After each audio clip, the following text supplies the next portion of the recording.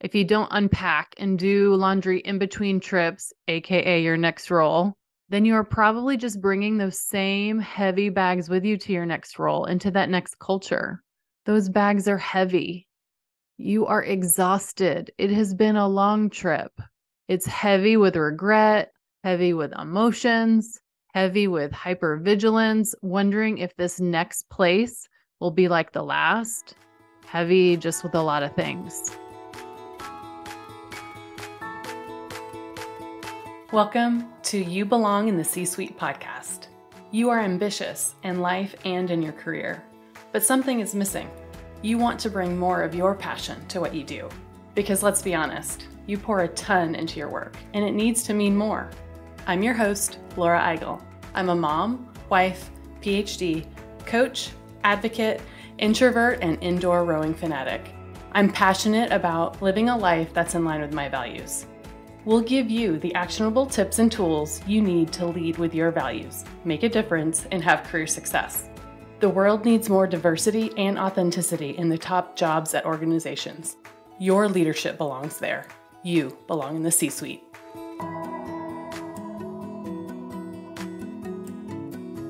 Recently, a senior leader in an organization told me that she loves how I help people find their way. And I think that's a really great way to put it.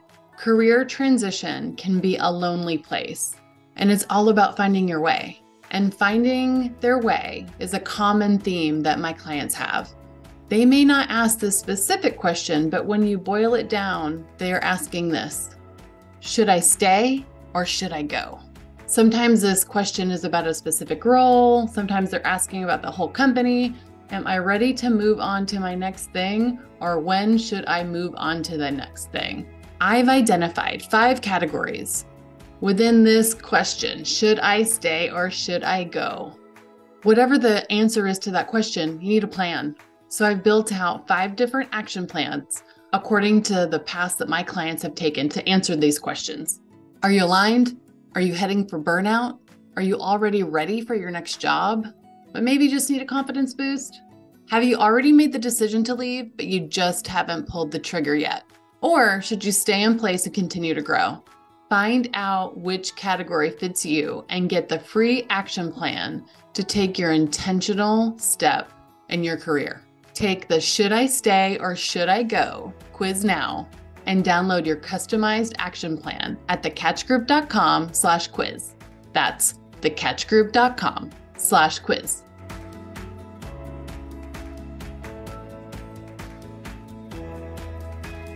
Welcome to this week's episode of the You Belong in the C Suite podcast. This week, we are continuing our career transition series.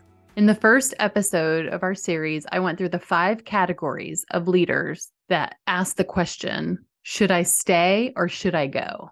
And we introduced our new Should I Stay or Should I Go quiz and action plans that are full of actionable steps and self reflection. Have you taken the quiz yet? You should go to thecatchgroup.com slash quiz to take it and download your free action plan. In the second episode of our series, I talked about how to evaluate job opportunities with your values first as you intentionally build your career.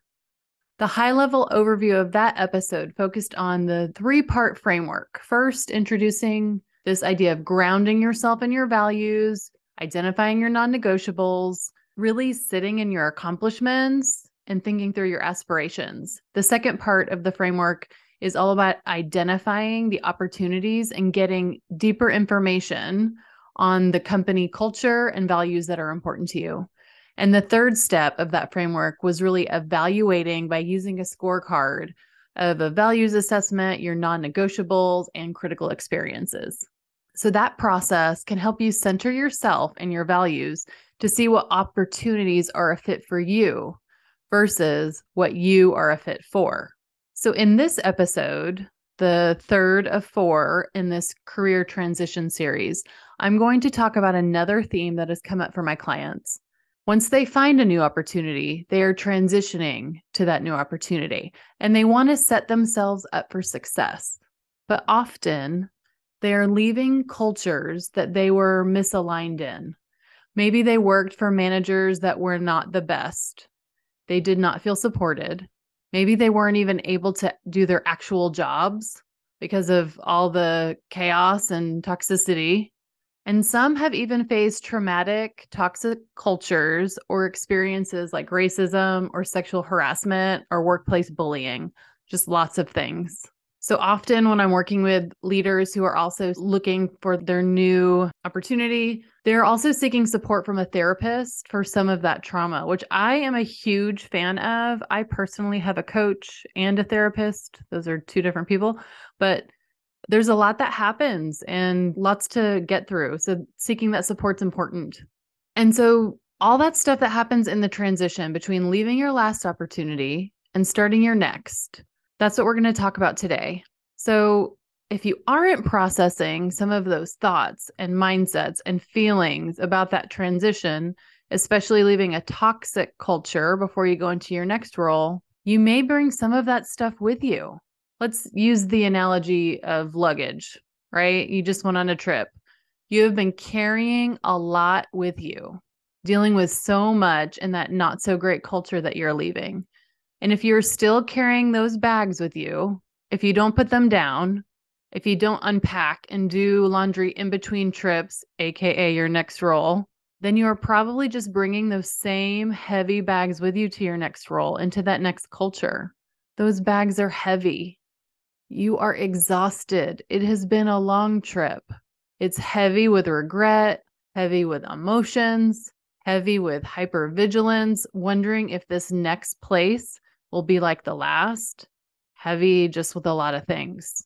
So, in this transition period, I want you to put those bags down, empty them, do that laundry before you pack for your next trip.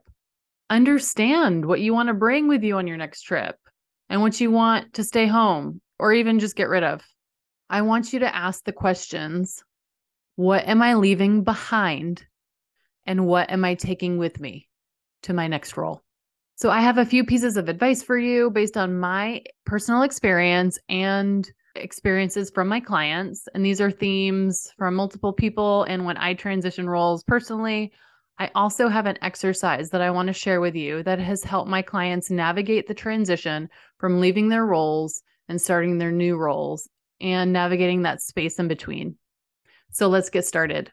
So, this exercise is one that utilizes a tool that's in my values first framework.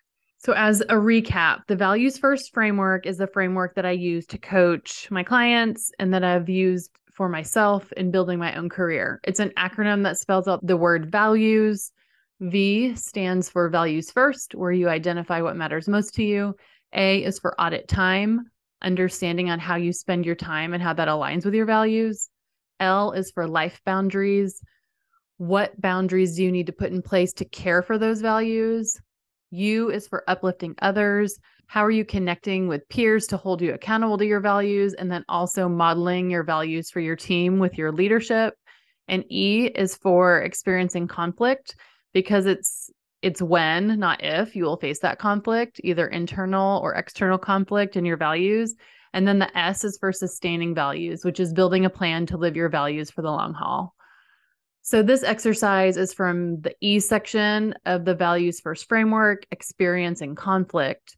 And even though you're transitioning to your next role, there is still a lot of conflict to process through within that transition. You may feel conflict and guilt from leaving your team behind. You may experience conflict leaving your role because there's tension and you're just trying to survive the countdown into your last day so you can get the heck out of there. You may be experiencing conflict because you worry that you're going to be walking into the same kind of culture in your new gig. You just don't know, right? You may be experiencing conflict because you're doubting yourself. This one is really common. This is where we tend to trust ourselves less because we were the ones that put ourselves in the position in the first place in that not so great role. We made that decision and it didn't turn out well. So, do I trust myself now in this next place? Do I trust my own decisions? That self trust is a big one that has some conflict around it. There's lots of conflicts that we face in this transition. Within the experiencing conflict in the values first framework, there's an exercise called the high low worksheet. The high low exercise can be used to debrief an individual conflict or a group conflict. It's a really great way to learn from situations for continual growth because we are never done learning. And it's essentially an after action review or what a project manager might call a post-mortem, you know, the meeting that you have after a project ends to see what you learned from it. How often do you even have those after action reviews? Probably not enough. And so I want you to do this high low exercise. And I want you to do it as a reflection exercise on the role and culture you are leaving. So, an after action review of that role or that company. So, the high low exercise has a series of open ended questions to ask yourself to reflect on. So, what's different about the exercise for your career transition in this situation is that I want you to use it multiple ways and in a different frame of reference. So, let me tell you what I mean by that. I want you to reflect on multiple aspects of your experience at your previous role to really understand and answer the question what am I leaving behind? And what am I taking with me to my next role?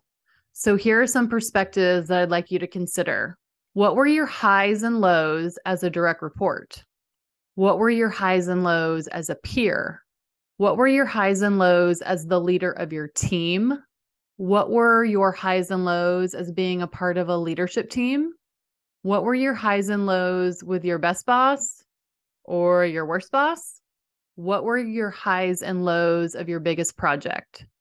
So, those are some of the ones that are most common to consider. You probably have a couple of other lenses or other things that you'd want to do a high low debrief on. So, what other aspects of your employee experience might you want to consider reflecting on? But very tactically, this means utilizing a high low worksheet for each of these different lenses. So, what is in the high low worksheet? Well, good news is that you can download it for free if you grab the book because it is in the Values First workbook. That is a free download which accompanies my book, Values First. So go to thecatchgroup.com slash values first and get a copy of the book and download the Values First workbook and the high low exercises in there. I'm going to walk you through it here too, though.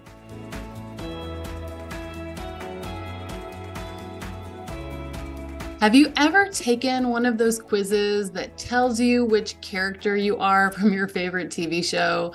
I know I've been guilty of that. It's sometimes a fun thing to do and a way to kill time at the end of a long day. You know the days I'm talking about. The days that are filled because we are so busy reacting to something during the day for work, but you need some time at night for yourself. So you find yourself scrolling, and maybe taking a quiz or deep diving into your high school acquaintances' vacation pics to Italy, wishing you could have taken that trip. If work hadn't been so crazy, you would. Since you're up anyway, I have a quiz for you. It's the question you've been thinking about, maybe glaringly, or maybe it's the one that's been in the back of your mind. Should I stay or should I go? From this job, from this company, are you misaligned? Are you heading for burnout? Are you already ready for your next job, but maybe just need a confidence boost? Have you already made the decision to leave, but you just haven't pulled the trigger yet?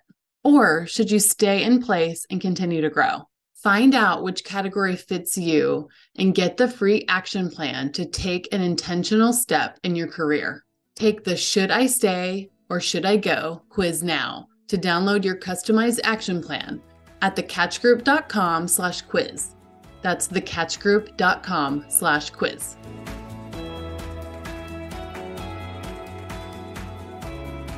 So let's start with this frame of reference the highs and lows of being the leader of your team.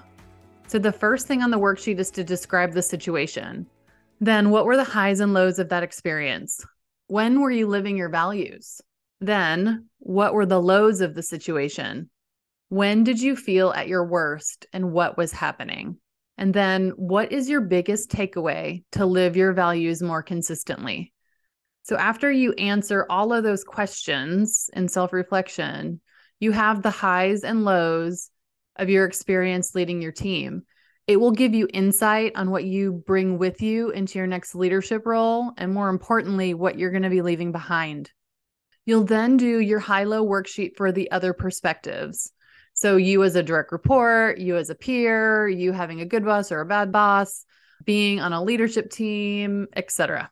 You'll come away with multiple learnings and likely a few key themes.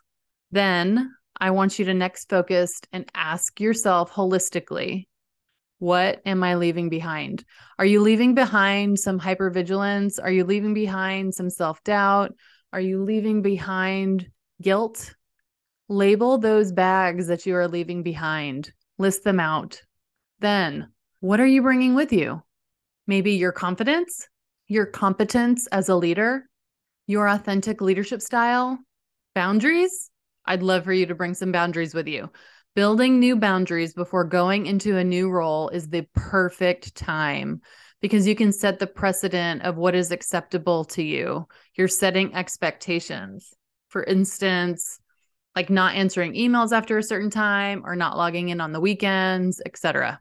So this is an exercise to do to shift this momentum from the past to the future. I find that often when we're leaving these really toxic environments, it brings up so many bad emotions. And there's a thing called negativity bias where we tend to remember things that are bad that happen because the emotions are so real and so raw and you can just i can just remember and put it puts you back in that place and it kind of anchors you in this heaviness. And so i want you to really do this because this is an important way for you to shift the momentum from the past on those negative experiences into going to the future so if we are holding on to those bags, they're just taking up your energy, they're taking up your mind space, they're sucking the energy out of us and grounding us in the past. And I want you to use this exercise to continue your forward momentum. You left that toxic work environment. You made a decision for yourself. You trusted yourself. You did that. So keep moving forward. Move forward into your new role with only the things that you want to be bring with you to be successful create that space for new experiences in that new culture. Keep that momentum moving forward and living in your values. So when should you even do this exercise? I think you should do it after you leave your role. Ideally i want you to take some time off in between. I know a lot of people say that they're going to take some time off but do they really do it? Take at least a few weeks off in between roles if you can I know financially that not everybody can, and there's a lot of privilege in me suggesting it. But if you can do it, you need more time than you think before you get into your next role. I will tell you, I have never heard anyone say, Wow, I really wish I had taken less time before I started my new role. There was way too much time in between the transition usually is the opposite. They wish they've given themselves more of a break in between ending one and starting the next. You will not get that time back. So take that time if you can. I can tell you from my own experience going from one job to another, I took a week and it was not enough. Why did I only take a week? Because I didn't want to let down my new employer. I didn't want them to think that I wasn't excited to get started. Then, after I left my C suite job, I took time off before I started my business, or I said that I was going to. But guess what? I really didn't take much time off. The week after I left, I went to a book writing workshop to write my book, and it was amazing. But I was technically still working. My mind was still going in a different way, but I really didn't take much time off in reality. Why? Well, because I wanted to show people that I was going to do what I said I was going to do, launch my own business. My value of achievement was was ramped up. So I jumped right into it. I started building stuff for this podcast. I got branding pictures done. I had somebody working on my web page. What I should have done in retrospect were all of those things, but just a few weeks later after I took a freaking break. So take that time, you need it more than you think you do. So, ideally, you'll be taking your break, resting, relaxing, reading, decompressing, doing nothing. Maybe you take an actual vacation where you don't have to check any emails. You are not working on your old role and you are not working on your next role. You might be asking, working on your next role before you even start, is that even a thing? Do people do that? Actually, yes, you'd be surprised. Lots of people do this. They're reading and getting ready for their next role before they start because they want to come in ready to go. Don't do that if you don't have to, please. Rest, relax, read, decompress, go to the spa, go to therapy, do whatever you need to do. Then, towards the end of that in between time, I want you to do this high low exercise and start thinking through what you will be leaving behind and start processing that. What bags are you letting go of?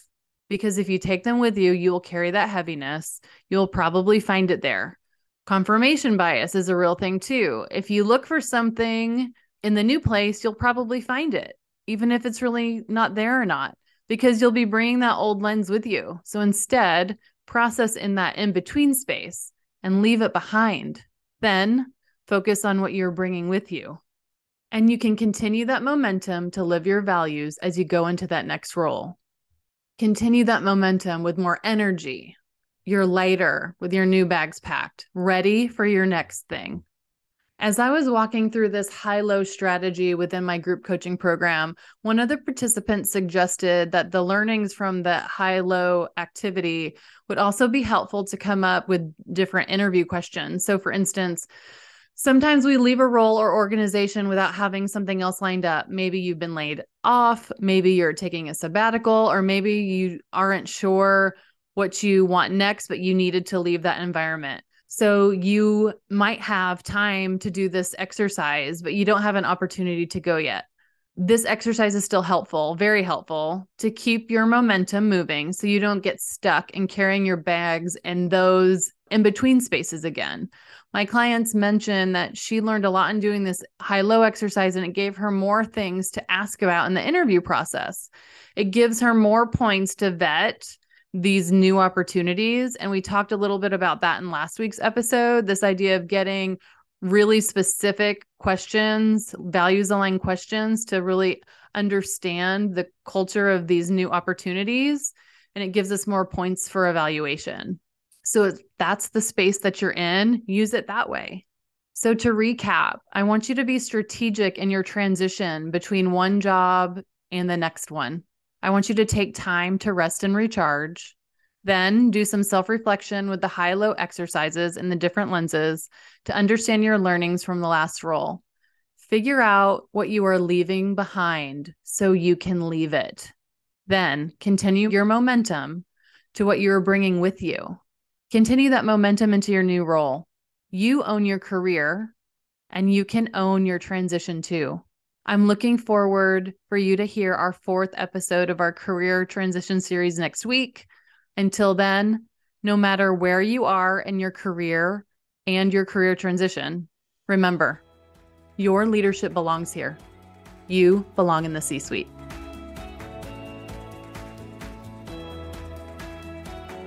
I want to thank you so much for listening to the You Belong in the C Suite podcast. If you are enjoying this content, please remember to rate and review on Apple Podcasts. By leaving a review, you are helping others find this content. We will be featuring five star reviews on air in upcoming episodes. Editing and support for the podcast is done by S&E Podcast Management. To get more tips and tools to help you live a life guided by your values, go to thecatchgroup.com. Keep your boundaries and take care.